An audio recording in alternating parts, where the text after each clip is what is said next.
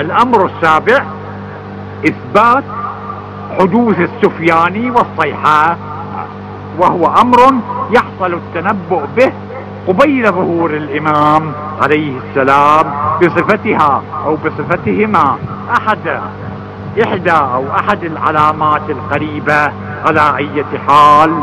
وإن كانت كثير من هذه الأمور لاحظوا هذا لأجل سبقكم الذهني وانتباهكم والتفاتكم أن كثير من هذه الأمور قابلة لتعلق البداء بها في الحقيقة قابلة للبداء الذي نؤمن بإمكانه لله عز وجل. قابل ما تصير يظهر الإمام والسفياني لا يظهر أو يظهر الإمام وصيحة ماكو أو خش ماكو نحو ذلك من الأمور. هذا ممكن بداء من الله سبحانه وتعالى يصير. والسفياني موصوف في الأخبار تفصيلا.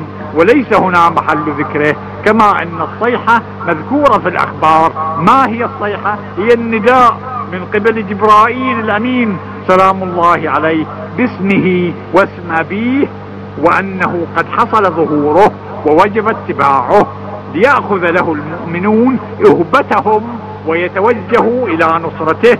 وفي بعض الروايات أنه نداء لاحظوا إنه نداء يسمعه كل أهل لغة بلغتهم وفي بعضها ما مضمونه أنه من الوضوح والارتفاع بحيث يفزع الناس ويخرج العذراء من خدرها حيث يكون الظهور لدى وقوعه صريحا واضحا علنيا تدعمه المعجزة وتؤيده الإرادة الإلهية.